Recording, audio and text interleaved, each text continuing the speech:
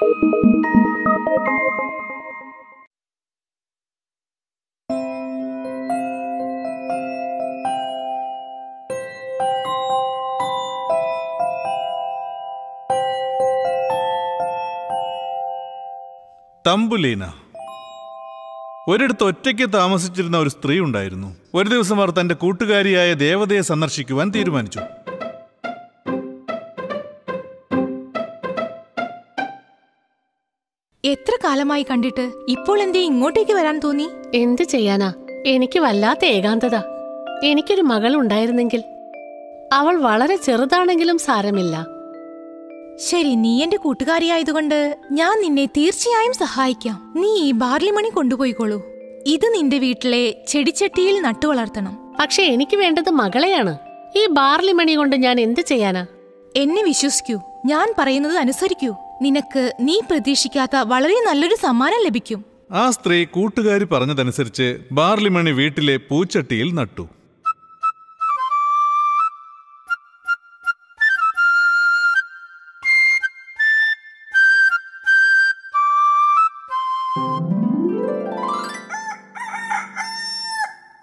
പിറ്റേന്ന് കാലത്ത് നോക്കുമ്പോൾ അവരെ അത്ഭുതപ്പെടുത്തിക്കൊണ്ട് ആ ധാന്യം മനോഹരമായ ഒരു പുഷ്പമായി മാറിയിരിക്കുന്നു. ആ സുന്ദരവർണ പുഷ്പത്തിന്റെ ദളങ്ങൾ അപ്പോഴും അടഞ്ഞു തന്നെയിരുന്നു. ഇത് കാണാൻ എന്തൊരു ഭംഗിയാ. മുൻപ് ഒരിക്കലും ഞാൻ ഇതുപോലൊന്ന് കണ്ടിട്ടില്ല. ആ സ്ത്രീ ആ പുഷ്പത്തിനെ വളരെ മൃദുവായി തലോടി അതിനെ ചുംബിച്ചു. ആ ദളങ്ങൾ വിടർന്നപ്പോൾ അതിനുള്ളിൽ സുന്ദരിയായ ഒരു കൊച്ചു പെൺകുട്ടി. ഓ അതിശയം തന്നെ. ഇവളെ കാണാൻ എന്തൊരു ഭംഗിയാ. ഞാൻ ഇവൾക്ക് തമ്പുലിന എന്ന് പേരിടും. ഇത്രയും നല്ലൊരു സമ്മാനം തന്നതിന് ഞാൻ ദേവതയോട് നന്ദി പറയും. സ്ത്രീ ആ പുഷ്പത്തിൽ നിന്നും ആ പെൺകുട്ടിയെ എടുത്തു.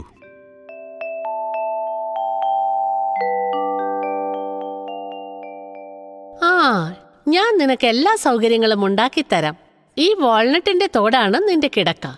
ഈ പൂവിന്റെ ഇതളുകൾ നിനക്ക് പുതപ്പും തലയണയുമായി ഉപയോഗിക്കാം.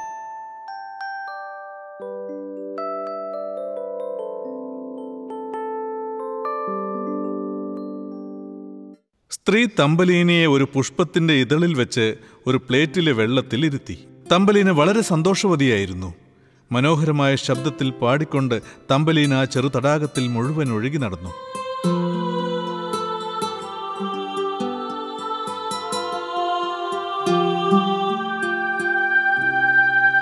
ഒരു രാത്രി തമ്പലീന വാൾനട്ടിന്റെ തോടിൽ ഉറങ്ങിക്കൊണ്ടിരിക്കുകയായിരുന്നു. ഈ കാഴ്ച ജനാലയിലൂടെ ഒരു തവള കണ്ടു. ആരാണ് ഈ ചെറിയ പെൺകുട്ടി? അവൾ എത്ര മനോഹരിയാണ്. എന്റെ തവളക്കുഞ്ഞന് അവൾ നല്ലൊരു വധുവും എനിക്ക് നല്ലൊരു മരുമകളുമായിരിക്കും. തവള ചാടി അകത്ത് കയറി ഉറങ്ങിക്കിടന്നിരുന്ന തമ്പലീനെ എടുത്തുകൊണ്ട് കുളത്തിലേക്ക് പോയി.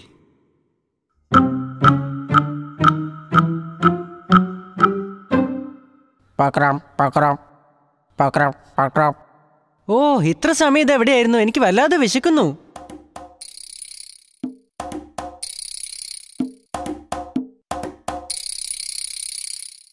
എപ്പോഴും ഇങ്ങനെ പരാതി പറയാതിരിക്ക്. ദാ നിനക്കുള്ള സമ്മാനം ഒന്ന് നോക്കിയേ. ഈ സുന്ദരജീവി എന്തായാലും നിനക്ക് തീർച്ചയായും ഇണങ്ങും.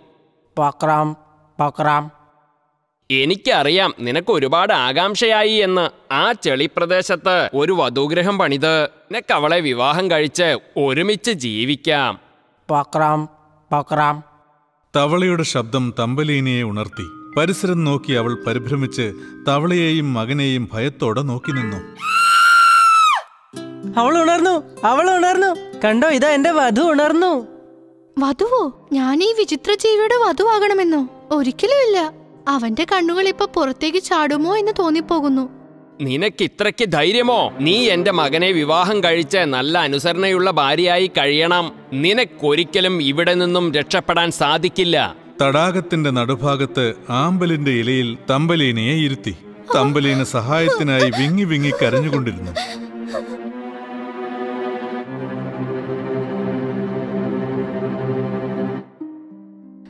സഹായിക്കൂ സഹായിക്കൂ. ആരെങ്കിലും എന്നെ ഒന്ന് സഹായിക്കൂ. അവിടെ നീന്തുകയായിരുന്ന മത്സ്യങ്ങൾ ഇതെല്ലാം കാണുന്നുണ്ടായിരുന്നു. ഹൃദയം പൊട്ടി ആ പാവം കരയുന്നത് കണ്ടോ? ആ ഭയങ്കരനായ തവളക്കുട്ടൻ ഒരു മോശം ഭർത്താവായിരിക്കും. സുഹൃത്തുക്കളെ തവളയുടെയും മകന്റെയും ഈ കുടിലതന്ത്രം നടപ്പിലാക്കാൻ നാം ഒരിക്കലും സമ്മതിച്ചു കൊടുക്കരുത്. വരൂ നമുക്ക് ആ ആമ്പലിന്റെ വേരറുത്ത് ആ കുട്ടിയെ രക്ഷപ്പെടുത്താൻ ശ്രമിക്കാം.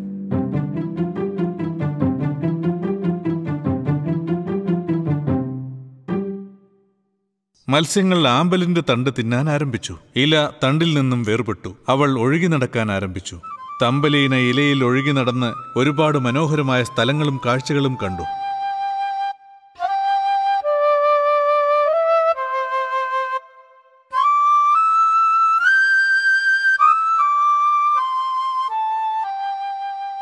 പക്ഷെ ഒരു ദിവസം അവളെ കണ്ട ഒരു ഭീകര ജീവി അവളെ പൊക്കിയെടുത്ത് ഒരു വലിയ മരത്തിലേക്ക് കൊണ്ടുപോയി. അവളെ കിട്ടിയതിൽ അവൻ അഭിമാനം പൂണ്ട് എല്ലാ കൂട്ടുകാരെയും അവളെ കാണുവാനായി ക്ഷണിച്ചു.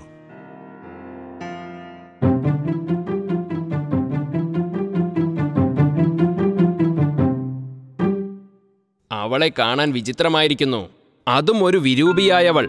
അവൾ നമ്മളുടെ കൂട്ടത്തിലുള്ളതുമല്ല. പിന്നെങ്ങനെ നീ വിവാഹത്തെക്കുറിച്ച് ചിന്തിച്ചത്? നിന്റെ തലയ്ക്ക് അസുഖമൊന്നുമില്ലല്ലോ. എല്ലാവരും അത് തന്നെ പറഞ്ഞപ്പോൾ അത് ശരിയായിരിക്കുമെന്ന് കരുതി ഭീകരജീവി തമ്പലീനയെ താഴെ വെച്ച് പറന്നുപോയി. പാവം തമ്പലീന അവൾ മരങ്ങൾക്കിടയിലൂടെ വഴിയിൽ കിട്ടാവുന്നതൊക്കെ ഭക്ഷിച്ചും പൂക്കളിൽ തങ്ങി നിന്നിരുന്ന തേൻകണങ്ങൾ കുടിച്ചും നടന്നു. പിന്നീട് വേനൽക്കാലം മാറി മരം കോച്ചുന്ന മഞ്ഞുകാലം വന്നെത്തി.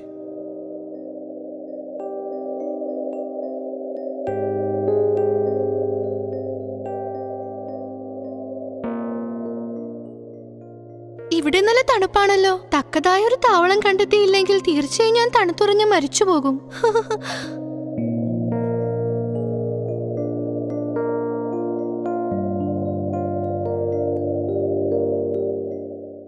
അങ്ങനെ തമ്പലീന് നടന്നുകൊണ്ടിരുന്നപ്പോൾ പെട്ടെന്നൊരു ചെറിയ വാതിലിനടുത്തെത്തി.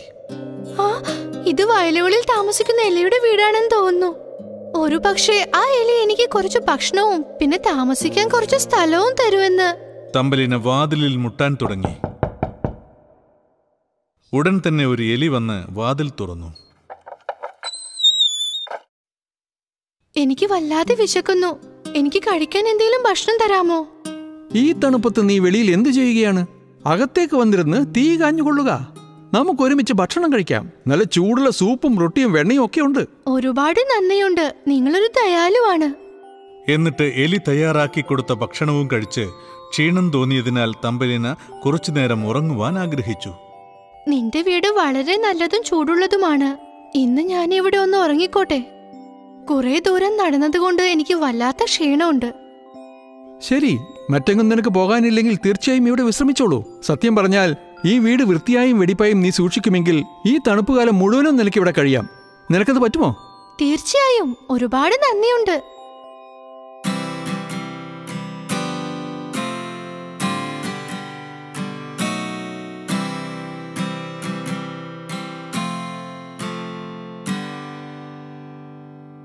അങ്ങനെ മഞ്ഞുകാലം മുഴുവൻ തമ്പലീന എലിയുടെ കൂടെ കഴിഞ്ഞു. ഒരു ദിവസം എലി തമ്പലീനയോട് പറഞ്ഞു നാളെ എന്റെ ഒരു സുഹൃത്ത് എന്നെ കാണാൻ വരുന്നതിനാൽ ഈ വീട് മുഴുവൻ ഒന്ന് വൃത്തിയാക്കി വെക്കണം. സുഹൃത്തോ നിന്നെ പോലെ വേറൊരു എലിയാണോ? അല്ലല്ലല്ല അത് വലിയൊരു തുരപ്പൻ എലിയാണ്. അവൻ വലിയ പണക്കാരനാ. അവന് വലിയൊരു വീടുമുണ്ട്. നീ അറിയാൻ പറയുക എനിക്കൊരു ഐഡിയ തോന്നുന്നുണ്ട്. എന്റെ സുഹൃത്തിനു വേണ്ടി മധുരമായി പാടുകയും നല്ല കഥകൾ പറഞ്ഞു കൊടുക്കുകയും ചെയ്യണം. ഒരുപക്ഷെ അവൻ നിന്നെ വിവാഹം കഴിക്കും. അവൻ അന്ധനാണെങ്കിൽ പോലും അവൻ നിന്നെ നന്നായി നോക്കും. നിന്റെ വിഷമങ്ങളും ഒക്കെ അതോടെ മാറും. തുരപ്പനലി സന്ദർശനത്തിനെത്തിയപ്പോൾ തമ്പലീനയുടെ മധുരശബ്ദം കേട്ട് അവളോട് അനുരാഗം തോന്നുകയും അവളെ വിവാഹം ചെയ്തു തരണമെന്ന് പറയുകയും ചെയ്തു. എനിക്ക് വളരെ സന്തോഷമായി. നിങ്ങൾ രണ്ടുപേരും നല്ല ദമ്പതികളായിരിക്കുമെന്ന് എനിക്ക് ഉറപ്പുണ്ട്. വിവാഹത്തിലുള്ള ഒരുക്കങ്ങളൊക്കെ നമുക്കൊന്ന് ആരംഭിച്ചാൽ എന്താ? തുരപ്പനലി വീട്ടിൽ നിന്നും പോകുമ്പോൾ മാളത്തിനടുത്ത് കിടന്നിരുന്ന ഒരു കുരുവിയെ ചവിട്ടി. ആ പാവത്തിനെ ചവിട്ടാതെ അതിന് പരിക്കേൽക്കുന്നത് കാണുന്നില്ലേ? എവിടെ നിന്നാ ഇങ്ങനെ ഒരു അശ്രീകരം വന്നു വെട്ടത് ഈ തണുപ്പ് കാലത്ത് എവിടെയെങ്കിലും ഒരു കൂടുണ്ടാക്കാതെ അവിടെ ഇവിടെയും പറന്നു നടക്കുന്ന ജന്തുക്കളാണ് ഇതൊക്കെ. ഈ കുരുവി മരണത്തിന് അർഹതപ്പെട്ടത് തന്നെ. തുരപ്പനെലിയുടെ പെരുമാറ്റം കണ്ട് തമ്പലീനെ ഞെട്ടി. ആർക്കെങ്കിലും ഇത്രയും ക്രൂരനാവും പറ്റുമോ എന്ന് അവൾ വിചാരിച്ചു. ഓ എന്റെ പാവം കുരുവി. ഞാൻ നിന്നെ ചികിത്സിച്ച് ആരോഗ്യവതിയാക്കാം. തുരപ്പനെലിക്ക് നല്ല ദേഷ്യം വന്നു. കുരുവി പറന്നു പോകുന്നതുവരെ തമ്പലീന അതിനെ സ്നേഹപൂർവം പരിചരിച്ചുകൊണ്ടിരുന്നു. വിവാഹദിനം അടുത്തെത്തിക്കൊണ്ടിരുന്നു. എനിക്കാ തുറുപ്പനലിയെ വിവാഹം കഴിക്കണ്ട? മരിക്കുന്നത് അതിലും നല്ലത്. അത്രയ്ക്ക് വിവേകശൂന്യനും വിരൂപനും മാത്രമല്ല ക്രൂരനുമാണ് അയാൾ. പിന്നെ ജീവിതകാലം മുഴുവനും ഞാൻ എങ്ങനെ ഒരു മാളത്തിൽ കഴിയുക പുറത്ത് സൂര്യ വെളിച്ചത്തിൽ ശുദ്ധവായു ശ്വസിച്ച് പ്രകൃതി ഭംഗി ആസ്വദിച്ച് ജീവിക്കാനാണ് എനിക്കിഷ്ടം. ഈ രണ്ട് എലികളിൽ നിന്നും ഞാൻ എങ്ങനെ രക്ഷപ്പെടുക? പെട്ടെന്നൊരു ശബ്ദം കേട്ട് നോക്കിയ തമ്പലീന അവൾ പരിചരിച്ച കുരുവിയെ കണ്ടു. നീ വളരെയധികം ദയാലുവും നല്ലവളുമാണ് കുട്ടി. ആ തുരപ്പനലി ഒരിക്കലും നിനക്ക് യോജിച്ചവനല്ല. തണുപ്പ് കൂടുന്നത് കൊണ്ട് ഞാൻ ചൂടുള്ള പ്രദേശത്തേക്ക് പോവുകയാണ്. എന്റെ പുറത്തു കയറി നിനക്കും എന്റെ കൂടെ വരാം. ഞാൻ നിന്നെ ഇവരുടെ അടുത്തു നിന്നും ദൂരേക്ക് കൊണ്ടുപോകാം. നന്ദി. ഒരുപാട് നന്ദിയുണ്ട് സുഹൃത്തെ. എനിക്ക് ഇവിടെ നിന്നും രക്ഷപ്പെട്ടേ മതിയാവൂ. അങ്ങനെ തമ്പലീന കുരുവിയുടെ പുറത്തു കയറി. അങ്ങകലെ പൂക്കളാൽ നിറഞ്ഞ സുന്ദര ഭൂമിയിലേക്ക് പറന്നുപോയി. ഈ യാത്ര നല്ല രസകരമായിരിക്കുന്നു. കുരുവി തമ്പലീനയെ ഒരു വലിയ മഞ്ഞ നിറത്തിലുള്ള പുഷ്പതളത്തിലേക്ക് മൃദുവായി വെച്ചു. ദീർഘയാത്ര ചെയ്തതുകൊണ്ട് തമ്പലീന പെട്ടെന്ന് പെട്ടെന്നുറങ്ങിപ്പോയി. ഒരു മരത്തിന്റെ മുകളിൽ കുരുവി അവൾക്ക് കാവലിരുന്നു. കുറച്ചു കഴിഞ്ഞപ്പോൾ ഒരു മൃദുവായ ശബ്ദം അവളെ ഉണർത്തി. ആരാണീ ഈ സുന്ദരിയായ പെൺകുട്ടി? ഇവളെ ഇതിനു മുൻപ് കണ്ടിട്ടേ ഇല്ലല്ലോ. അപരിചിതനെ കണ്ട് തമ്പലീന ഭയന്നുപോയി. ഓ പേടിക്കേണ്ട. ഞാൻ പൂക്കളുടെ രാജാവാണ്. നിന്റെ അത്രയും സൗന്ദര്യമുള്ള ആരെയും ഞാൻ ഇതിനു മുമ്പ് കണ്ടിട്ടേയില്ല നിനക്ക് എന്റെ രാജ്ഞിയായി കൂടെ അപ്പോൾ തമ്പലീനയുടെ സുഹൃത്തായ കുരുവി അവിടേക്ക് പറന്നു വന്നു. തമ്പലീന തമ്പലീന ഇത് പൂക്കളുടെ രാജാവാണ്. ഇദ്ദേഹം എല്ലാവരോടും വളരെ ദയാലുവാണ്. ഇവിടെയുള്ള എല്ലാവരും ഇദ്ദേഹത്തെ സ്നേഹിക്കുന്നു. അപ്പോൾ എന്റെ പ്രിയ സഖി എന്തു പറയുന്നു? നിനക്കെന്റെ പത്നിയാകാമോ? രാജാവ് ഇത്രയും ദയാലുവും സുന്ദരനുമായതിനാൽ തമ്പലീനെ എങ്ങനെ നിരസിക്കും? അങ്ങനെ അവൾ രാജാവിനെ വിവാഹം ചെയ്ത് പൂക്കളുടെ രാജ്ഞിയായി സന്തോഷത്തോടെ ജീവിച്ചു.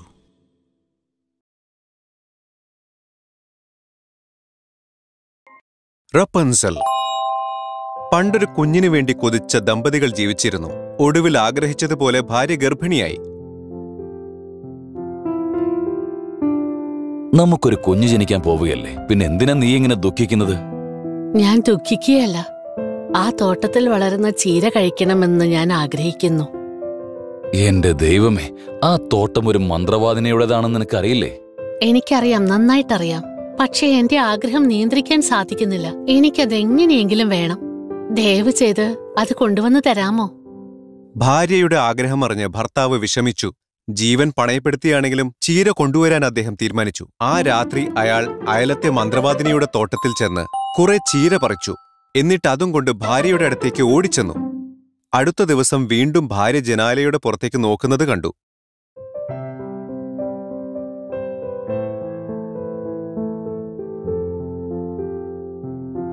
ഇനിയിപ്പോ എന്താ നിന്റെ പ്രശ്നം? നിനക്ക് ആ ചേര ഇഷ്ടപ്പെട്ടില്ലേ?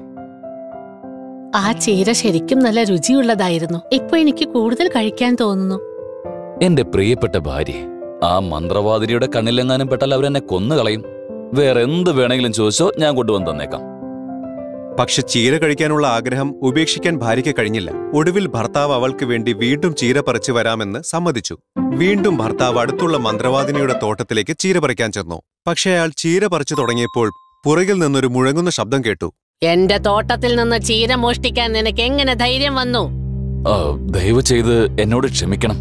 ഞാൻ കള്ളനല്ല. എന്റെ ഭാര്യ ഗർഭിണിയായതുകൊണ്ട് നിങ്ങളുടെ തോട്ടത്തിലെ ചീര കഴിക്കണമെന്ന് അവൾക്കൊരു ആഗ്രഹം മോഷണത്തിന് ന്യായീകരിച്ചിട്ട് കാര്യമില്ല. എനിക്കതറിയാം. ശരിയാണ്. എനിക്കതിൽ വല്ലാത്ത ദുഃഖമുണ്ട്. ഞാൻ നിങ്ങളോട് അപേക്ഷിക്കുകയാണ്. എന്നോട് കരുണ കാണിക്കണം.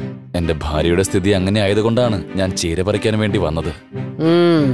ചീര പറിക്കാൻ ഞാൻ അനുവാദം തരാം. വേണ്ടത്ര എടുത്തുകൊണ്ട് പൊയ്ക്കോ. പക്ഷേ നീ എനിക്കൊരു വാക്ക് തരണം. നിങ്ങൾ പറയുന്നത് ഞാൻ അനുസരിക്കാം. നിന്റെ ഭാര്യ കുഞ്ഞിനെ പ്രസവിച്ചാൽ ആ കുഞ്ഞിനെ നീ എനിക്ക് തരണം. എന്ത്? ഞാൻ പറഞ്ഞത് കേട്ടില്ലേ? ഇതിന് നീ തയ്യാറല്ലെങ്കിൽ ശിക്ഷയ്ക്ക് ഒരുങ്ങിക്കോ. മന്ത്രവാദിനിയെ ഭയപ്പെട്ട അയാൾ അവരുടെ ആഗ്രഹം സാധിപ്പിക്കാമെന്ന് ഉറപ്പുകൊടുത്തു. കുഞ്ഞ് ജനിച്ചപ്പോൾ ഭർത്താവും ഭാര്യയും വളരെയധികം സന്തോഷിച്ചു. എന്നിരുന്നാലും മന്ത്രവാദിനി കുഞ്ഞിനെ കൊണ്ടുപോകാൻ വന്നപ്പോൾ അവർക്ക് വിഷമമായി. ഞങ്ങളുടെ ദയവ് കാണിക്കണം. ഒരു കുഞ്ഞിനു വേണ്ടി ഞങ്ങൾ എത്ര കാത്തിരുന്നതാ. ഞങ്ങളുടെ മകളെ കൊണ്ടുപോകരുത്. നിന്റെ ഭർത്താവ് എനിക്ക് തന്ന വാക്ക് നിറവേറ്റിയേ തീരൂ. ആ കുഞ്ഞിനെ എനിക്ക് താ. ഇനി അത് എന്റേതാണ്. ദമ്പതികളെ ദുഃഖത്തിലാഴ്ത്തിക്കൊണ്ട് മന്ത്രവാദിനി കുഞ്ഞിനെയും കൊണ്ടുപോയി.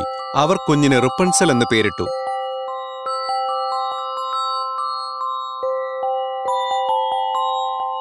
കാലം കടന്നപ്പോൾ റപ്പൻസൽ സ്വർണ നിറമുള്ള മുടിയോടുകൂടിയ ഒരു സുന്ദരിയായി വളർന്നു. മന്ത്രവാദിനിക്ക് ഭയം തോന്നി തുടങ്ങി. റപ്പുൻസൽ സുന്ദരിയായ ഒരു പെൺകുട്ടിയായി വളർന്നു കഴിഞ്ഞിരിക്കുന്നു. ആരും അവളെ കാണാൻ ഞാൻ അനുവദിക്കരുത്. കണ്ടാൽ അവർ അവളെ കൊണ്ടുപോകും. അല്ലെങ്കിൽ അവൾ ആരുടെ കൂടെയെങ്കിലും ഓടും. ആരും അവളെ കണ്ടുപിടിക്കാത്ത ഒരു സ്ഥലം ഞാൻ കണ്ടുപിടിക്കണം. എന്റെ അടുത്ത് നിന്ന് പോകാൻ ഞാൻ അവളെ അനുവദിക്കില്ല. മന്ത്രവാദിനി റപ്പൻസലിനെ കാടിന്റെ ഉള്ളിലേക്ക് കൊണ്ടുപോയി അവളെ ഒരു കോട്ടയിൽ പൂട്ടിയിട്ട് പ്രവേശന കവാടം അടച്ചു. അമ്മ എന്തിനാണ് എന്നെ ഇതിനകത്തിട്ട് അടച്ചത്? ഞാൻ എന്ത് തെറ്റാ ചെയ്തത്? അതിനെക്കുറിച്ച് നീ വിഷമിക്കേണ്ട ആവശ്യമില്ല. ഞാൻ ദിവസവും നിന്നെ കാണാൻ വരും നിനക്ക് ആവശ്യമുള്ളതെല്ലാം കൊണ്ടുവരും. പക്ഷെ അമ്മ പ്രവേശന കവാടം അടച്ചില്ലേ പിന്നെ എങ്ങനെ അകത്തേക്ക് കടക്കും? ഞാൻ താഴെ വരുമ്പോൾ പറയും റപ്പൻസൽ റപ്പൻസൽ നിന്റെ തലമുടി താഴേക്ക് ഇടൂ നിന്റെ അമ്മ വന്നിരിക്കുന്നു. അങ്ങനെ മന്ത്രവാദിനെ അവളെ വിളിക്കുമ്പോൾ റപ്പൻസൽ അവളുടെ സ്വർണമുടി താഴേക്കിടും. എന്നിട്ട് മന്ത്രവാദിനി കോട്ടയുടെ മുകളിലേക്ക് കയറും. കുറെ ദിവസങ്ങൾ കഴിഞ്ഞു. റപ്പൻസൽ അതിസുന്ദരിയായ ഒരു പതിനാറ് വയസ്സുകാരിയായി. സമയം കിട്ടുമ്പോഴൊക്കെ അവൾ ഭംഗിയായി പാട്ടുപാടും. ഒരു ദിവസം ആ രാജ്യത്തെ രാജകുമാരൻ വേട്ടയ്ക്കായി ഇറങ്ങി.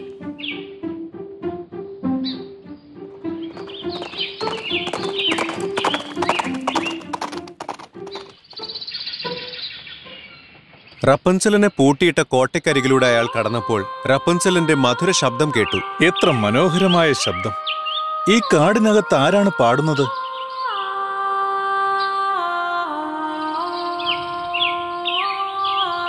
റപ്പൻസലിനെ പൂട്ടിയിട്ട കോട്ടയ്ക്കരികിലൂടെ രാജകുമാരൻ കറങ്ങിക്കൊണ്ടിരുന്നു. പക്ഷെ കോട്ടയ്ക്കകത്ത് കടക്കാനുള്ള വഴി അറിയാതെ അയാൾ വിഷമിച്ചു. പെട്ടെന്ന് ആരോ വരുന്ന ശബ്ദം അയാൾ കേട്ടു. വേഗം ഒരു മരത്തിന്റെ പുറകിൽ ഒളിച്ചു.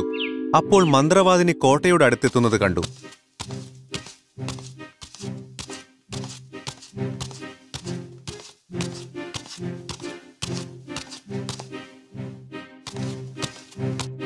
അവർ മുകളിലേക്ക് നോക്കി വിളിച്ചു.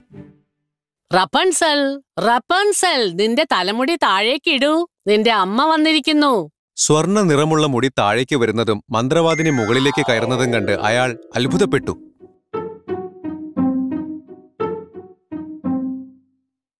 ഹോ ഹോ! എങ്ങനെയാണല്ലേ ഗോപുരത്തിന്റെ മുകളിലേക്ക് കയറേണ്ടത്? മന്ത്രവാദിനി താഴേക്ക് വരുന്നതുവരെ അയാൾ കാത്തിരുന്നു. അവർ പോയതും അടുത്താരുമില്ലെന്ന് ഉറപ്പുവരുത്തിയ ശേഷം അയാൾ കോട്ടയ്ക്കടുത്ത് ചെന്ന് ശബ്ദം മാറ്റി വിളിച്ചു. റപ്പൻസൽ റപ്പൻസൽ എന്റെ മകളെ നിന്റെ തലമുടി താഴേക്കിടൂ നിന്റെ അമ്മ വന്നിരിക്കുന്നു.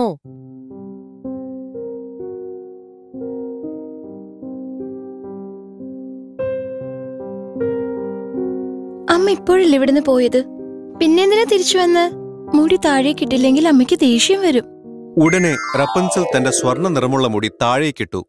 രാജകുമാരൻ മുകളിലെത്തി റപ്പൻസലിനെ കണ്ടയുടനെ അയാൾക്ക് അവളോട് അനുരാഗം തോന്നി.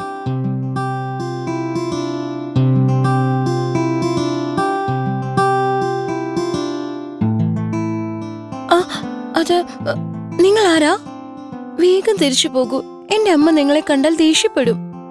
എന്നെ കണ്ട് പേടിക്കൊന്നും വേണ്ട സുന്ദരി. നിന്റെ അതിമനോഹരമായ ശബ്ദമാ എന്നെ ഇവിടെ കൊണ്ടുവന്നത്.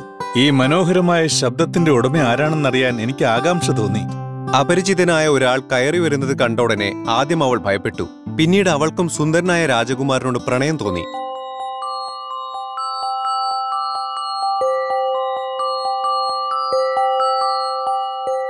പ്രിയപ്പെട്ട സുന്ദരി നിന്റെ അമ്മ നിന്നെ എന്തിനാണ് ഈ കാടിനകത്ത് കൊണ്ടുവന്ന് അടച്ചിട്ടിരിക്കുന്നതെന്ന് പറയാമോ? ആരെങ്കിലും എന്നെ കണ്ടാൽ അവരെന്നെ കൊണ്ടുപോകുമെന്ന് കരുതിയിട്ടാണ്. നിങ്ങളെ കണ്ടുമുട്ടിയതിൽ ഞാൻ സന്തോഷിക്കുന്നു. ദിവസം ചെല്ലുന്തോറും രാജകുമാരൻ റപ്പൻസലിനെ കാണാൻ പതിവായി വന്നു തുടങ്ങി. അവർ കൂടുതലായി അടുക്കുവാനും ആരംഭിച്ചു. രാജകുമാരൻ റപ്പൻസലിനെ വിവാഹം കഴിക്കാൻ ആഗ്രഹിച്ചു. പക്ഷേ അവളെ കോട്ടയിൽ നിന്ന് രക്ഷപ്പെടുത്താനുള്ള വഴി അവൻ അറിയില്ലായിരുന്നു. എന്റെ പ്രിയപ്പെട്ട റപ്പൻസൽ നിന്നെ എന്റെ ഭാര്യയാക്കാൻ എനിക്ക് തിടുക്കമായി. നിന്റെ അമ്മ വരുമ്പോൾ നിന്നെ വിവാഹം കഴിച്ചോട്ടെ എന്ന് ഞാൻ ചോദിക്കാൻ പോവാ. വേണ്ട അമ്മയോട് അങ്ങനെ ചോദിക്കരുത്. നിങ്ങൾ ദിവസവും എന്നെ കാണാൻ വരുന്നത് എന്റെ അമ്മ എങ്ങനെ അറിഞ്ഞാൽ അമ്മ നിങ്ങളെ ശിക്ഷിക്കും. ഒരിക്കലും അമ്മയോട് ഇത് പറയില്ലെന്ന് എനിക്ക് വാക്ക് തരണം. ശരി ശരി. ഞാൻ നിന്റെ അമ്മയോട് ചോദിക്കുന്നില്ല. നീ വിഷമിക്കണ്ട. ഞാൻ നിന്നെ ഇവിടുന്ന് കൊണ്ടുപോകാൻ ഒരു വഴി ആലോചിക്കട്ടെ.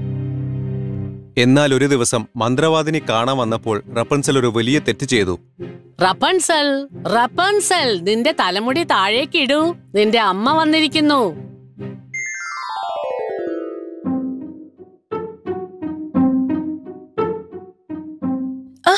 രാജകുമാരൻ എത്ര പെട്ടെന്നാ വരാറ്? അദ്ദേഹത്തിന് ഭാരമില്ല. പക്ഷെ അമ്മയ്ക്ക് എന്തൊരു ഭാരം? ഏത് രാജകുമാരൻ? അല്ലല്ല അത് പിന്നെ ഞാൻ അറിയാതെ അനുസരണയില്ലാത്തവളെ എനിക്കെതിരായി നീ പ്രവർത്തിക്കുകയാണല്ലേ? നിന്നെ മറ്റുള്ളവരിൽ നിന്ന് ഞാൻ സംരക്ഷിക്കുകയാണ്. പക്ഷെ നീ നെറിവുകേട് കാണിച്ചു. ഇതിനുള്ള ശിക്ഷ നീ അനുഭവിക്കണം. ഞാൻ നിന്നെ മരുഭൂമിയിലേക്ക് പറഞ്ഞയക്കും. വേണ്ട. വേണ്ട അമ്മ വേണ്ട. മന്ത്രവാദിനിക്ക് ദേഷ്യം വന്നു. അവർ റപ്പൻസലിന്റെ മനോഹരമായ മുടി മുറിച്ച് അവളെ മരുഭൂമിയിലേക്ക് പറഞ്ഞയച്ചു.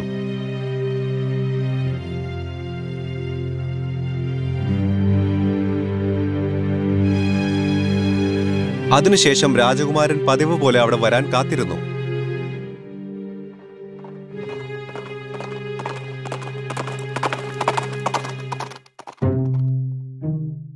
റപ്പോൺസൽ റപ്പോൺസൽ.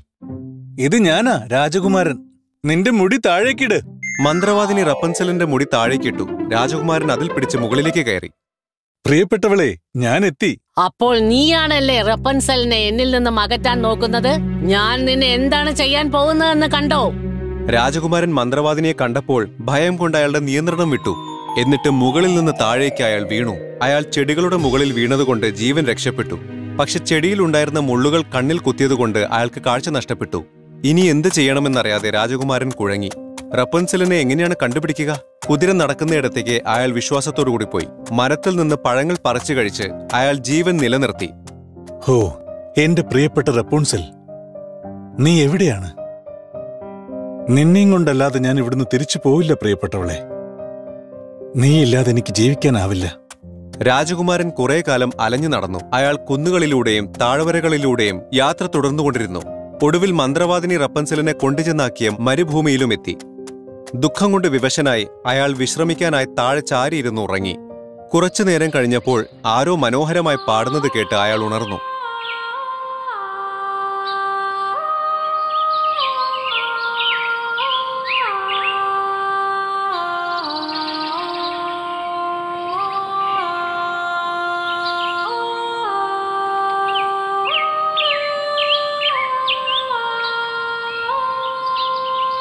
റപ്പൂൺസൽ. റപ്പൂൺസൽ. എന്റെ റെപ്പുൺസലിന് മാത്രമേ ഇത്രയും മനോഹരമായ ശബ്ദത്തിൽ പാടാൻ സാധിക്കൂ. അവളുടെ ശബ്ദം എവിടെ കേട്ടാലും എനിക്ക് മനസ്സിലാവും. മധുര ശബ്ദം കേട്ട ഭാഗത്തേക്ക് അന്ധനായ രാജകുമാരൻ പതുക്കെ നീങ്ങി.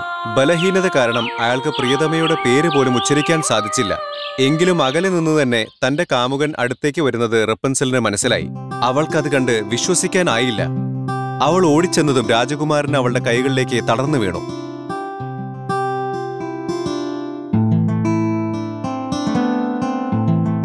പ്രിയതമ നിങ്ങൾ എന്നെ കണ്ടുപിടിക്കുമെന്ന് എനിക്കറിയായിരുന്നു.